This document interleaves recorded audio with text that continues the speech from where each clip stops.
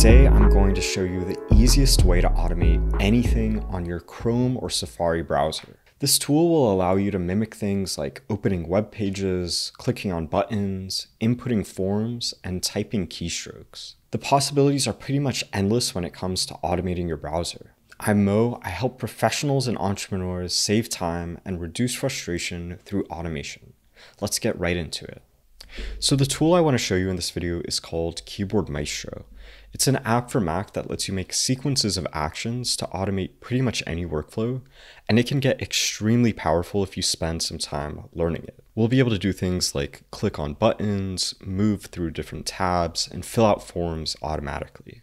Today we'll build two automations from scratch so you can understand how this works and how you can build some powerful automations of your own. We'll focus specifically on automating the browser, and I put together a macro pack to make this super easy, which you can download for free in the description below. All you need to do is install the app, and once you have it downloaded, you can double click the macro file to add it directly to Keyboard Maestro. And then we'll just need to enable those two folders that were imported by clicking this enable macro group button. So on the left side here, you'll see what are called macro groups, which are basically just folders that contain automation. So if you click on one of them, you'll see the automations or macros contained within that folder. So let's make a new folder and call this the easiest way to automate your browser. So now we have this new folder that we can create automations in. So I'll come down to the plus button to create a new macro. And the first automation we'll make is related to searching something on Google. So I'm actually going to put Keyboard Maestro on the left and I'll bring my browser to the right. And let's go to google.com. And now we can start the process of automating the browser. So if you imported these two macro groups correctly from the file in the description, then you should be able to go up to the Keyboard Maestro status menu and press this Browser Automation Actions button. So once you press that, it will pop up this window here with a bunch of different actions that you can press. So we have actions to click the selected element on the page. So if the uh, cursor were on the search bar, then we could have an action to click that. We have actions to insert text by typing or pasting, or even uh, we can press keystrokes. We can also open sites in new tabs or new windows. We can switch between tabs, we can close tabs, and there's also options to pause or repeat certain actions. So let's start by clicking on the search bar here Actually, before we do that, let's open Google in the first place. So let's click the Open Site in New Tab button. So you can see once we press that, it adds a new action within Keyboard Maestro that says Open URL, and it contains the URL of the page that we're currently on. And in fact, we really only need to go to google.com so we can get rid of the extra characters that are included within that URL. But now let's come to the next step, which would be to click the search bar so we would press click selected element, and you can see that adds an action within Keyboard Maestro that contains some JavaScript to click on that search bar. And then after that, we want to insert some text by typing. So we want to insert text into the search bar. And let's add a search of Mac OS. Okay, so let's test the macro up to this point before we finish it. We can press the run button up top and you can see that opens a new Google search and it types Mac OS into the search bar. Now, after we've typed Mac OS, we want to press enter to complete that search. So let's do the press a keystroke action here.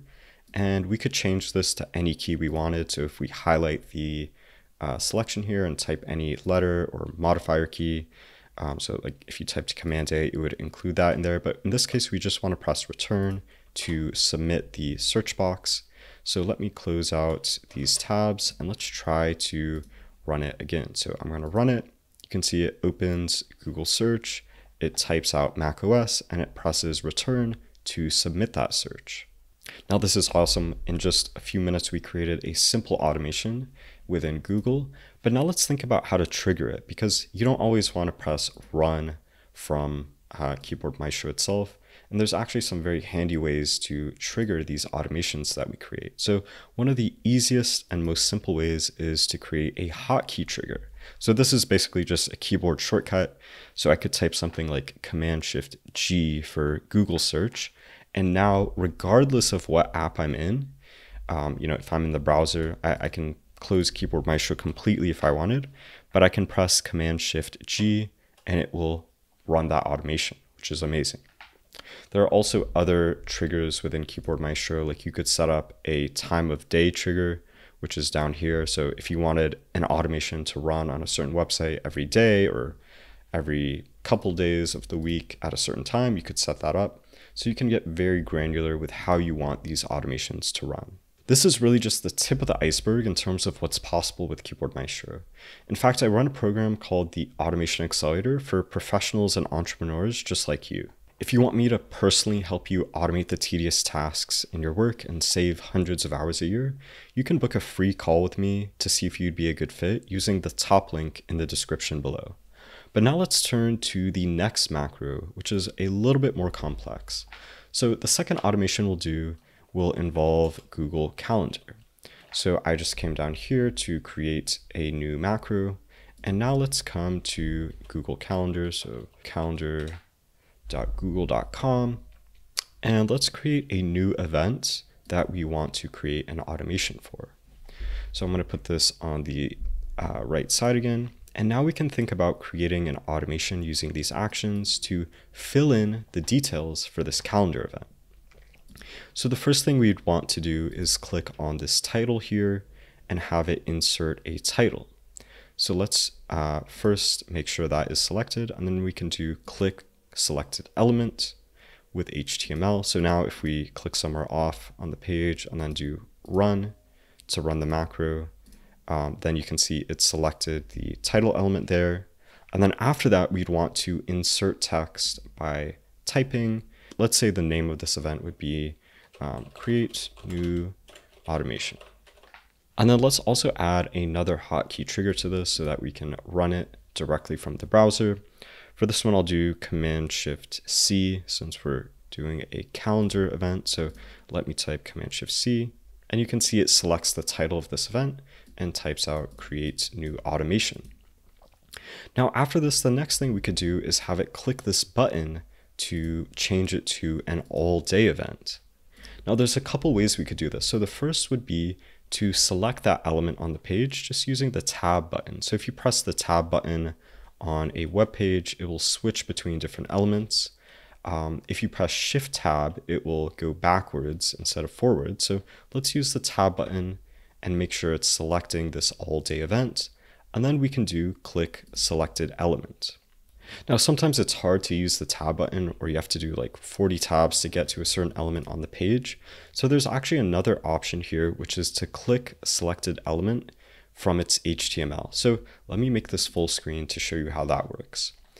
If you right click on the page and press inspect, then that will bring up these scary looking developer tools. But there's actually a button up here to um, use what's called the element selector. So if you press this button up top, then you can select any element on the page without needing to press tab to get to it. So if we went to all day and just pressed this element here, once it's highlighted, you can see it selects some code on the right, and then we can just press click selected element with HTML.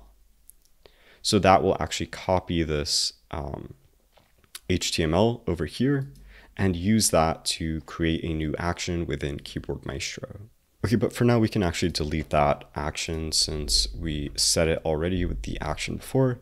And let's test this macro. So again, um, let me delete the title and do Command Shift C to run it. So it types in the title and successfully clicks the all day button below. And now let's think about what other actions we would want it to do. So maybe we would want it to select a location. So I'm going to click that and we can do the click selected element button and then we can do insert text by typing, and we can say the location is automation HQ. And then after that, maybe we would want it to change the notification time to instead of being one day before the event, maybe one week before the event. So again, let's use the tab button and we can get to the days dropdown. And then let's do click selected element. And then after we click on that, we would want to use the down arrow key and then press enter to change it to weeks. So let's do the type of keystroke. I'll do that twice. So we said down arrow and then return to select that element. And now let's uh, try putting things back and testing the macro up to this point. So I'll press Command Shift C to run the automation and it types in the title, it types in automation HQ in the location, but then it looks like it didn't fully select the weeks tab from this dropdown. And probably that's because the macro was running very quickly. So you can see in the macro, it's pressing the down arrow and then return immediately after. But sometimes these menus take a split second to open up. So this would be a great place to use the pause action below. So maybe let's add a pause of 0.2 seconds and I'll press OK. And let's put that pause between the two actions of the down arrow and the return.